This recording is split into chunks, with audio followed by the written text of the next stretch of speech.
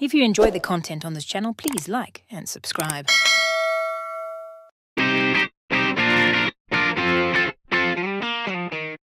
Woman of the Hour is a 2023 American crime thriller film directed by Anna Kendrick in her directorial debut and written by Ian McDonald.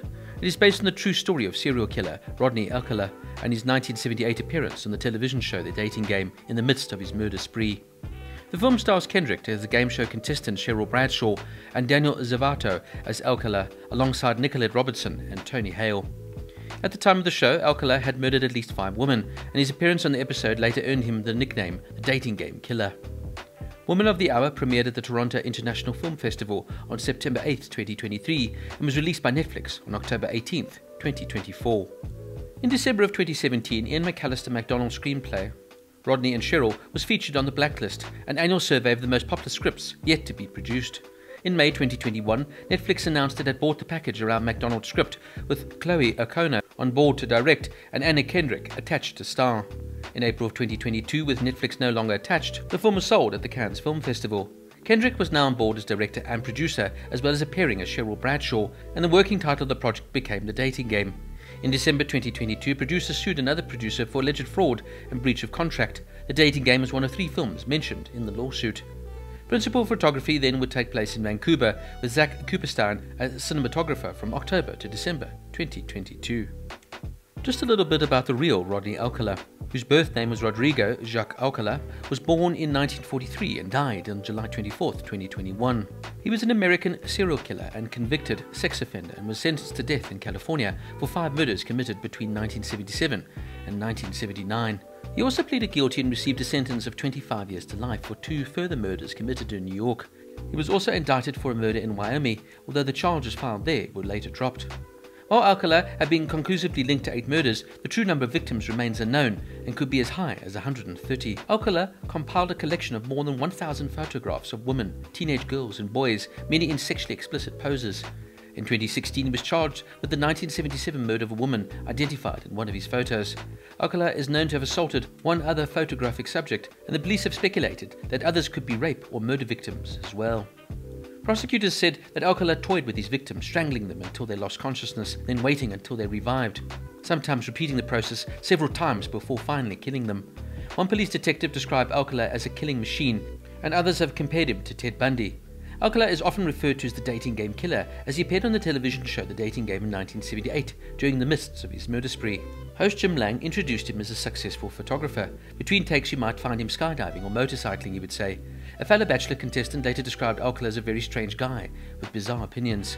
Alcala won the competition and the date with the episode's bachelorette, Cheryl Bradshaw, who subsequently refused to go out with him because she found him creepy. Criminal profiler Pat Brown noted that Alcala killed at least three women after his dating game appearance and speculated that his rejection on the show might have been an exasperating factor. One wonders what it did to his mind, Brown said. That is something he would have not taken too well. Psychopaths don't understand rejection. They think something is wrong with that girl. She played me. She played hard to get. She wanted to live. While on California's death row, Rodney James Alcala would die at the age of 77 due to natural causes at 1:43 a.m. on July 24, 2021, at a hospital in Kings County. Some interesting trivia notes. Some of Cheryl's bad experiences as an aspiring actor mirror Anna Kendrick's own. The comment about Cheryl's breasts is lifted verbatim from something that happened to Kendrick when she was just 19. The life and crimes of Rodney Alcala were first dramatized in The Dating Game Killer, released in 2017. The real Rodney Alcala graduated from UCLA School of Fine Arts and later studied film under Roman Polanski at the New York University. Anna Kendrick cut a scene from this film in which Alcala discusses Polanski's accusation of drugging and raping a 13 year old Samantha Geimer in 1977. Netflix acquired the film for $11 million shortly after its world premiere at the Toronto International Film Festival. The film was originally titled Rodney and Cheryl and later The Dating Game before being called Woman of the Hour. Anna Kendrick was only supposed to star in the film, but she later found support in helming this film from friend and director Paul Feig, who directed her in A Simple Favor in 2018, and her close actress friend Brittany Snow. Actress Sally Field did attend the dating game. Also appearing on the show was Don Johnson, Burt Reynolds, both as bachelors, and Michael Jackson as a child, early in their careers. Ed Burke, the dating game host in the movie, is a fictional portrayal of actual host Jim Lange. The real Rodney Alcala was born to Mexican-American couple in Texas. Daniel Zovatto, who plays him in the movie, is of Costa Rican descent. Anna Kendrick would rewrite the restaurant scene the night before shooting it. She would say, There used to be this moment where the waitress knocks over the drinks and Rodney got kind of aggressive, but suddenly it didn't feel right. Thus she changed it to Cheryl finding an escape route by signaling subtly to the waitress who lies on her behalf and says that the bar is closing. During the penalty phase in his trial in 2010, the real Rodney Alcala played Arlo Guthrie's 1967 song Alice's Restaurant, in which the narrator tries to avoid being drafted for Vietnam War by trying to persuade a psychiatrist that he's unfit for military because of his supposed extreme desire to kill. The jury took only an afternoon to sentence Alcala to death. Some of the film's inaccuracies. The movie ends by recreating two of Alcala's most heinous crimes, after which he's shown being dramatically apprehended by police, though in real life his actual arrest was much less of a showdown. The movie then says via on-screen text that he was released on bail following his initial arrest. It admits the fact that his mother actually posted his bail, and the movie evades the fact that Alcala was previously listed on FBI's most wanted list all the way back to 1971. One of the most chilling scenes shows one of the audience members endure a dramatic reaction to recognizing Alcala on stage, later showing her to be a friend of Georgia Marie Wixted, one of his first victims.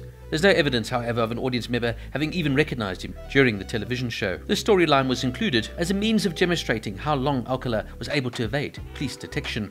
And strangely, however, the real case does not record a friend having discovered the victim's body in her Miami flat in the first place.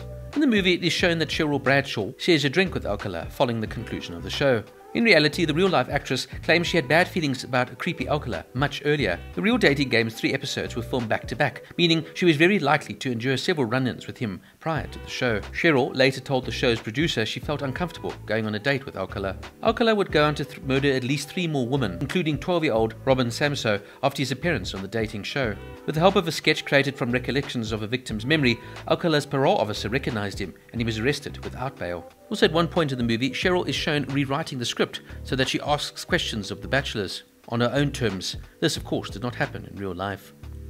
Now, Woman of the Hour is a very courageous, well made, and well acted film, and a particularly outstanding debut directorial performance here from Anna Kendrick, who also stars as Cheryl Bradshaw in the film. The film covers the very controversial, fascinating, yet surreal events surrounding a real life dating show game where a real life serial murderer, in the midst of his crime spree, actually appeared, answering questions as if he were just another bachelor, hoping to win a date with the pretty girl. Watching the real footage is somewhat eerie, strange, and surreal, as you wonder how the producers couldn't do a proper background search to understand just who they were inviting on the show. After Cheryl Bradshaw chose Rodney Alcala as her date, she said she found him creepy and asked the producers if it would be okay if she didn't go through with the date. This choice probably saved her life, and it's quite amazing when you sit back and think about how this reality could have played out so much more differently. The film really strikes at a nerve and hits hard, portraying this man as an evil, horrible, and vile human being, killing and torturing his victims, bringing them back to life just so he could prolong his pleasure. There are plenty of scenes that will leave you absolutely in shock, and this is definitely not one for the faint of heart, and gets its message across perfectly in terms of portraying Alcala as the evil and vile man that he really was. The film also acts as an expose of the misogynist attitude during the 1970s and how women were treated as second class citizens. The film is biting, courageous, and brave, and doesn't hold back in presenting its subject matter in a strong and visceral manner. Where unfortunately, though, the film falls flat for me is that it is completely inaccurate in so many factors. The true life story is absolutely riveting and fascinating, but Kendrick here decides to go on another mission. Look, the film fundamentally is a focus on Cheryl Bradshaw rather than Rodney Alcala, but I feel it twists and turns the truth just far too much, and for me, in that way, loses credibility. There's just too many indiscrepancies. And especially when you can go and watch the real dating game show on YouTube. Having Kendrick now almost rewrite history here, reinterpret the whole way the show was formatted, I don't know, just feels somewhat cheap. Daniel Zovatto turns out an absolutely chilling performance here as the murderer Rodney Alcala. And the rest of the cast are also absolutely on point. And Kendrick herself is excellent here, Cheryl Bradshaw. As I said, there's so many good aspects to this film, from its production values, directing, and acting, that I don't understand why Kendrick wanted to almost reinvent history in the way she told this one. The real life story is chilling, fascinating, and intriguing enough without trying to Hollywoodize it, as it were. This is a case that I've long held a lot of fascination with. It's a macabre, true insight into the machine that is the entertainment industry and how one man pulled a veil over so many eyes and for one day became just another dating show contestant, meanwhile hiding behind a smile and a glint in his eye that really hid an evil, psychopathic killer. This story deserves a movie that really tells it to its nth degree, that covers every final aspect, and will give the victims the justice they deserve. Well directed, well acted, well produced, but far too inaccurate for my liking. Woman of the Hour gets a 7.5 out of 10.